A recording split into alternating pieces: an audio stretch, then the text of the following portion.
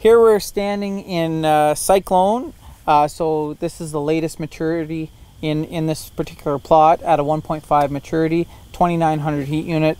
Uh, Sean, do you want to give us some features? Sure. Cyclone? Cyclones are aggressive coming out of the ground. They branch really well for wide row adaptability.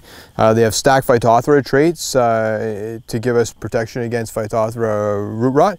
Uh, very nice standability, very nice SDS uh, ideal for variable yield environments.